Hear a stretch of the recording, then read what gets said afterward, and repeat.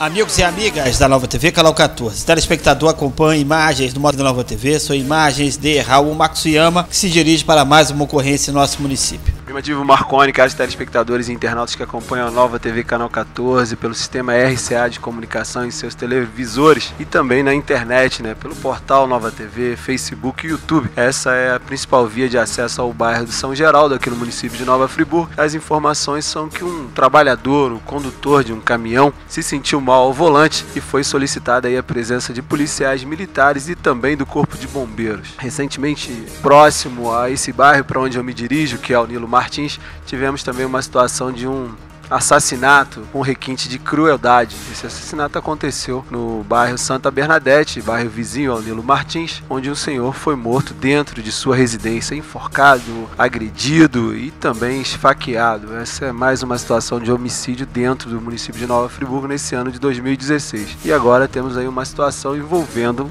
um trabalhador que aparentemente ao voltar de um turno de trabalho dirigindo seu caminhão se sentiu mal. Por isso, pessoas ligaram para a Nova TV passando esse fato. É sempre bom lembrar que a população de todos os bairros e distritos agora acompanham né, todo o trabalho da Nova TV, também em seus celulares, tablets e computadores, né, os chamados PCs de residência. Bom, Marconi, estamos no bairro Nilo Martins, faço imagens aí de uma viatura da Polícia Militar do 11º Batalhão e um pouco mais à frente um grande número de pessoas e o citado caminhão, né?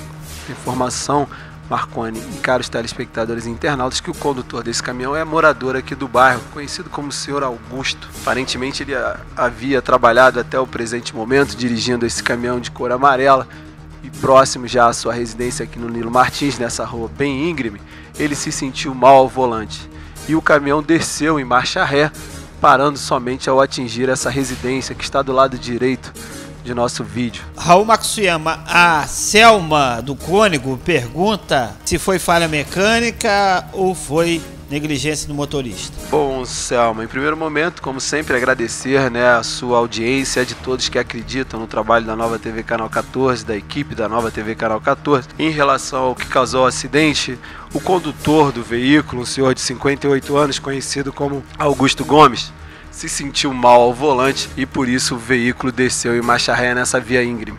Então não foi uma falha mecânica, foi um problema de saúde do condutor, é uma pessoa de bem. E as informações que tem o cara telespectador em Marconi é que infelizmente, mesmo tendo sido salvo pelos profissionais do Corpo de Bombeiros em um primeiro momento, ele não resistiu e veio a óbito. Então, segundo informações do nosso Motolink, do nosso Raul Matsuyama, um homem passou mal ao volante nesse caminhão amarelo, o veículo veio desgovernado de marcha ré e acabou parando em uma residência, graças a Deus, porque se esse veículo embalasse mais, poderia ter atropelado e matado pessoas, causado realmente uma situação de calamidade. E a gente se lembra, né, da situação que eu estou assistindo aqui agora, a internauta que menciona a questão da França, né, que um ataque terrorista utilizou um caminhão, saiu matando um monte de gente. Ou seja, não é esse caso porque foi por motivo de força maior, ele passou mal, o veículo foi desgovernado. Mas o grau da, da potencialidade não é muito diferente. Se tivesse um aglomerado de pessoas, com certeza poderia ter causado uma tragédia em nossa cidade. De qualquer forma, é o que a gente sempre fala aqui na Nova TV.